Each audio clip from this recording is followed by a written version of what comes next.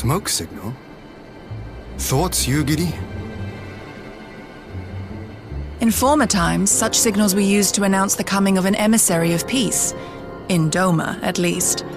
But could that truly be their intent? Who can say?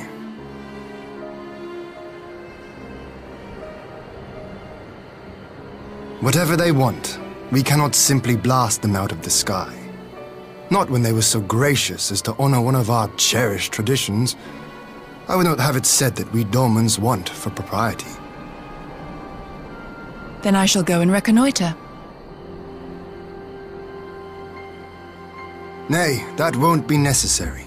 We will meet them openly. I would welcome this student of Doman history in person, whomsoever he or she may be.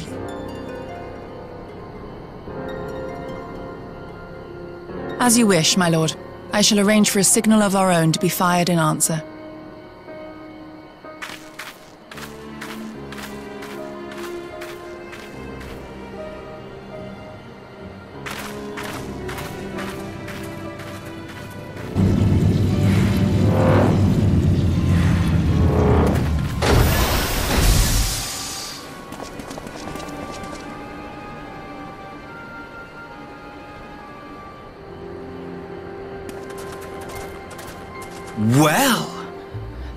Should be received by the Lord of Doma himself.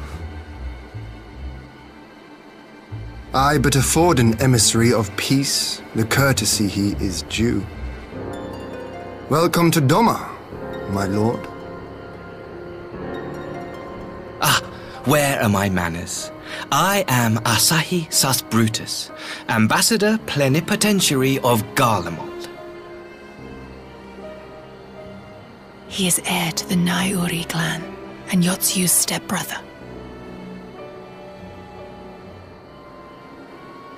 It seems I need not introduce myself, not in the presence of the famed Yugiri Mistwalker. Your skills as a shinobi are known far and wide, my lady. It is true. The former acting viceroy is my sister. Yet, bonds of kinship aside, we have precious little in common. As will soon become plain, I come not to sow strife, but to end it.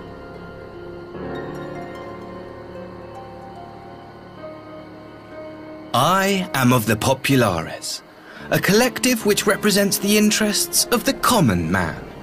Long have we labored to bring about reform to the Empire's provincial policy. Happily for us, our master acknowledges the need for change. Indeed, his radiance, Emperor Varis Zos Galvus, personally sanctioned this mission, granting me the authority to speak with his voice. To negotiate peace with Doma.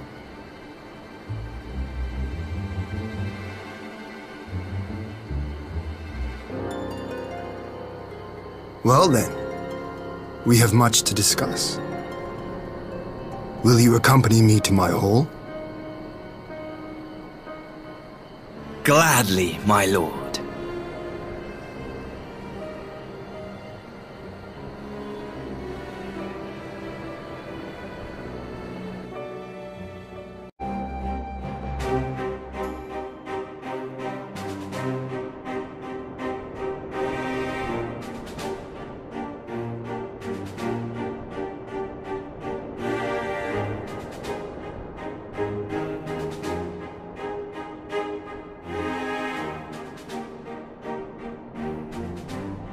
On behalf of my delegation, I offer you my humblest thanks. Never did I imagine that I would meet the gallant and noble Lord of Doma himself, nor be welcomed into his magnificent hall. You'll forgive me if we forego the pleasantries. You say you are come to negotiate peace.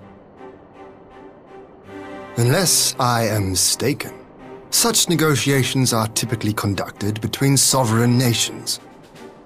I was not aware that the Emperor had recognized Doma's sovereignty. His Radiance has yet to do so, that much is true. Know, however, that he has expressed willingness to cede Doma to her ancestral masters and treat with her as a friend.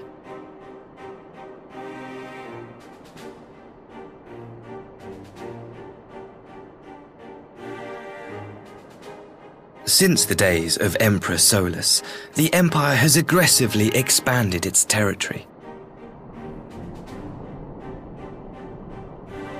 While you may not agree with our founding father's policy of expansion, I believe there is room for discussion on the matter of his lifelong goal to rid the world of Eikons.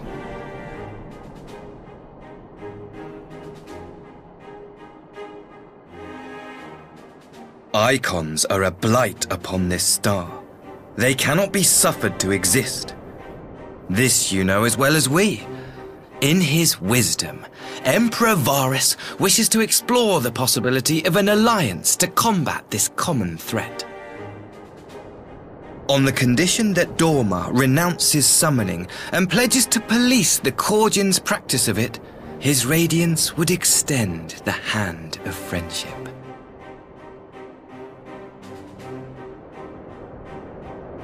Doma has never shown any appetite for summoning. And it should go without saying that we will address any threat to our people, Eikon or otherwise.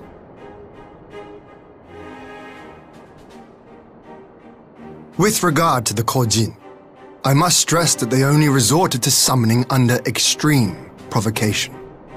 When the Ruby Sea was at peace and their sacred relics safe, they looked not to their kami for protection. Yet even now there are certain parties who would destabilize the region with ill-conceived military forays. Unless they alter their course, we cannot hope to be rid of Eikons. Quite. I can but apologize. In seeking to eliminate Eikons, the Empire creates them.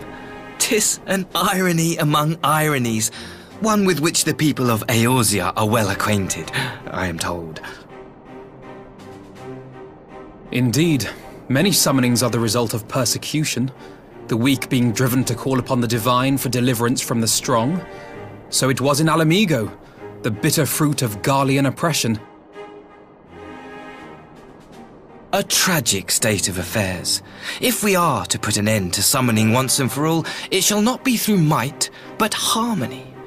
Yet we continue to repeat our mistakes, oblivious to the lessons of history. My comrades and I would change all that. We, Populares, have campaigned long and hard for a shift in imperial policy. And at last, the Emperor has seen fit to lend us an ear. Alas, there is a faction within Garlemald that would obstruct our every attempt at reform.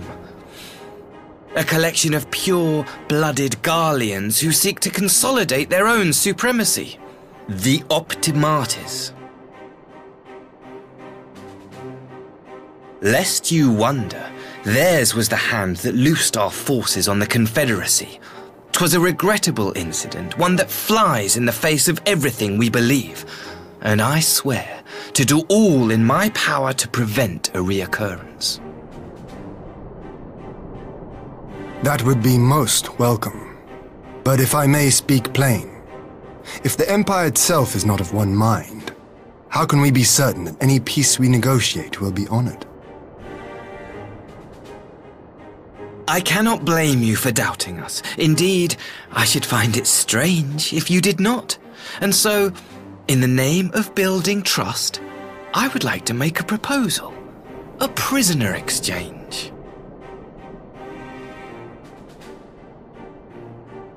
Hmm. Under Garlean rule, no few Domans were conscripted into the Imperial Army. We would repatriate them in return for those of ours you captured in the recent conflict. Naturally, any exchange would include the acting viceroy.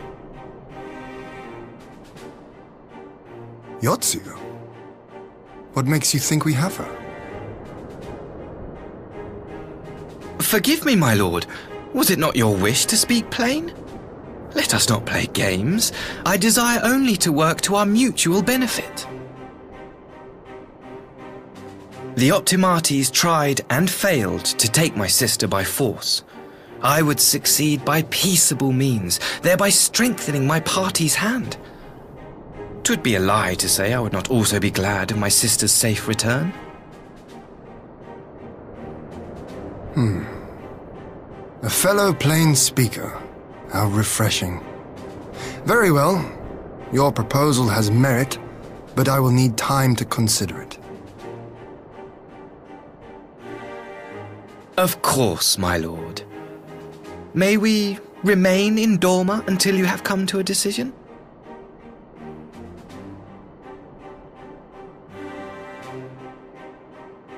You shall be our honored guests. Yugiri, I leave the ambassador and his retinue in your care. See that they are well looked after.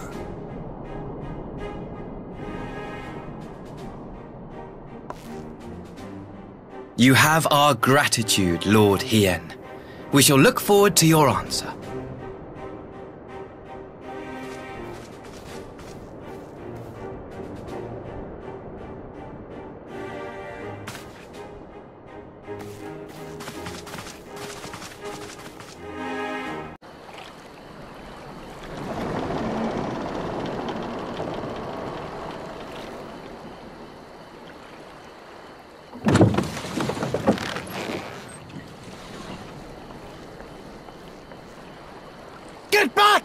I'm warning you! Someone's in trouble.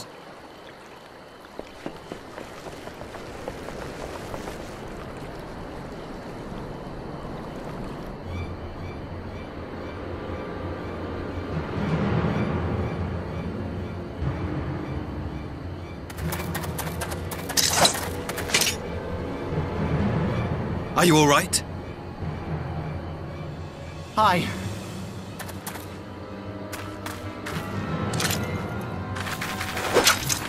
What do they want with you? Yuki! And you lot too! uh,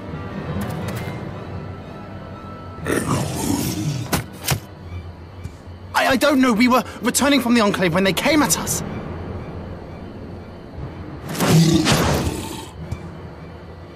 It seems they won't go quietly. And neither will we.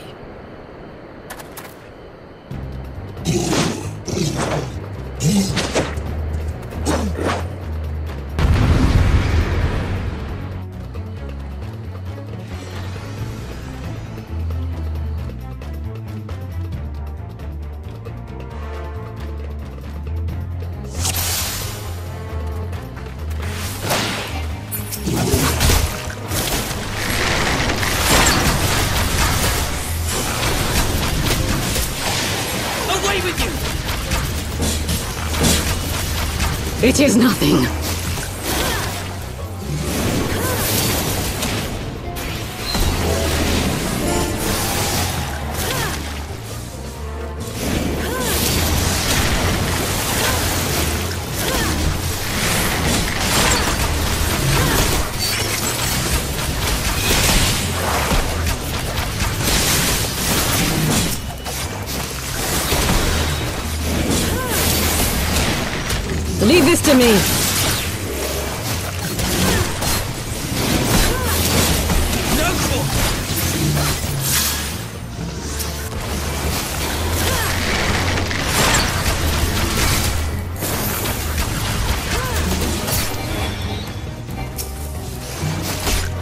An opening.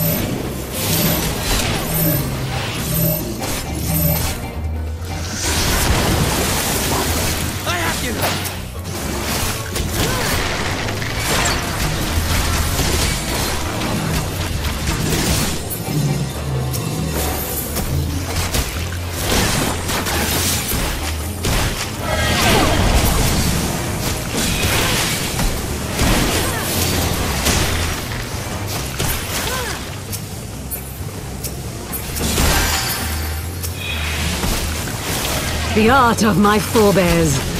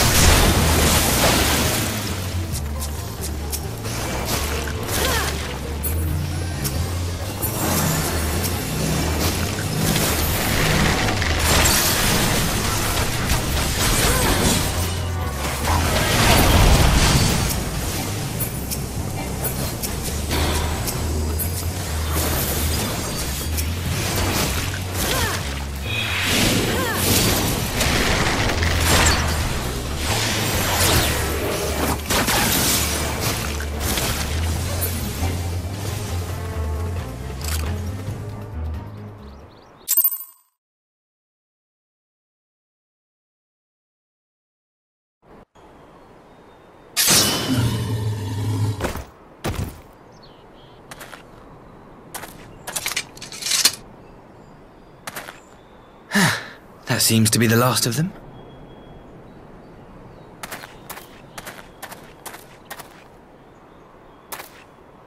You have nothing to fear, child. You are safe now.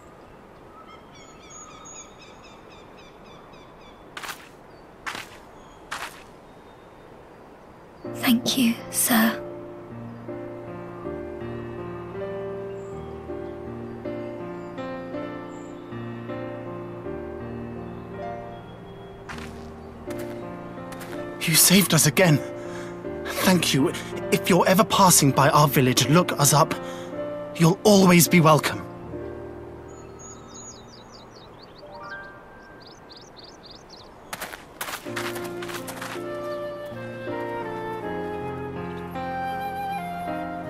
Thank goodness we arrived when we did.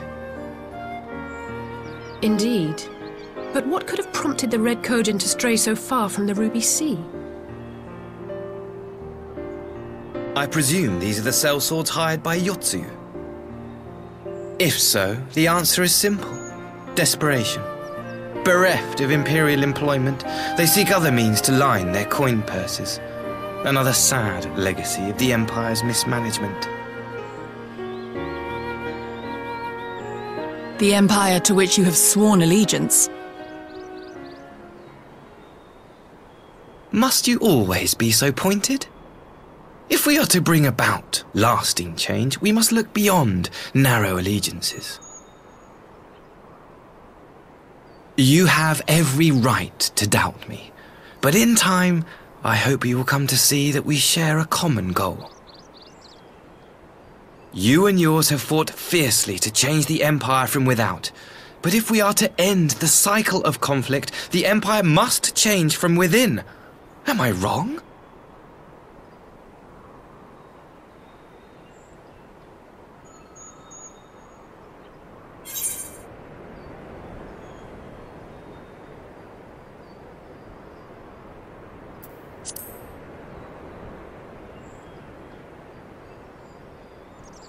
Never? I wonder, would you have said the same of Ishgard? Believe what you will, but I assure you, the Empire can change.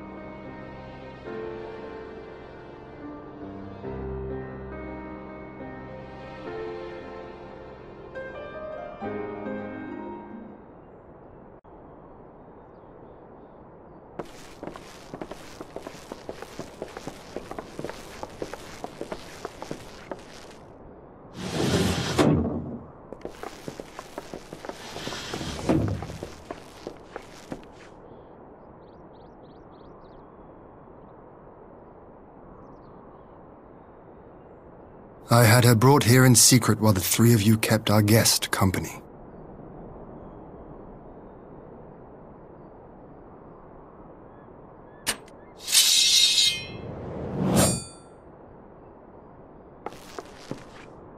The world has not been kind to you, it is true. But that does not excuse your sins. You should be at the bottom of the river. Yet here you are the living, breathing proof of my failure. A failure for which I would now make amends.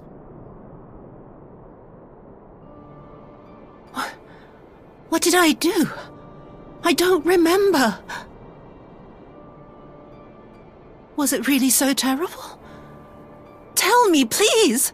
What did I do?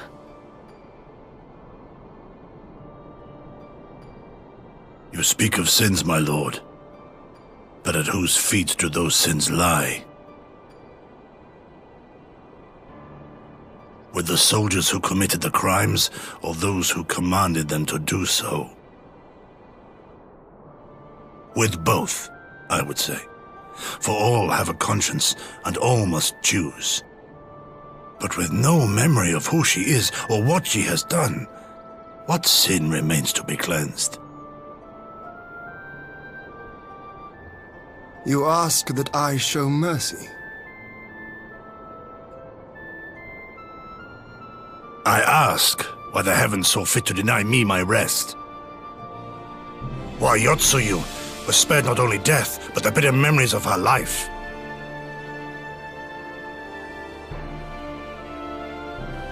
You truly think it the will of the Kami?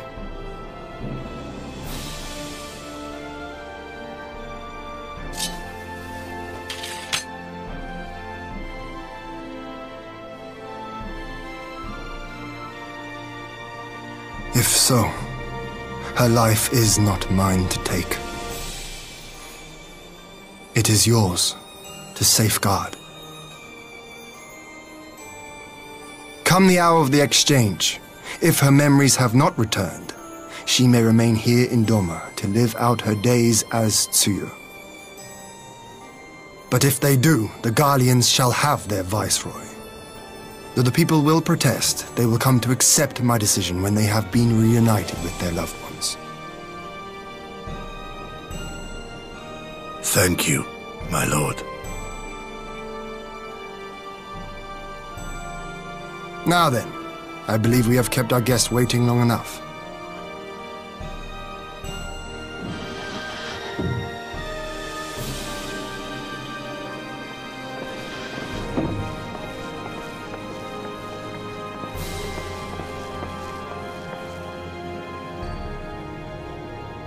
Did Gosetsu not seem strange to you?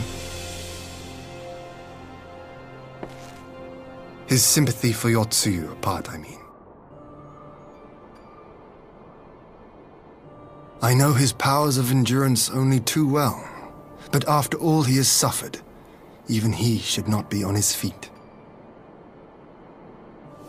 He puts on a brave face for our sakes, but it would not surprise me if he lacked the strength to raise his blade.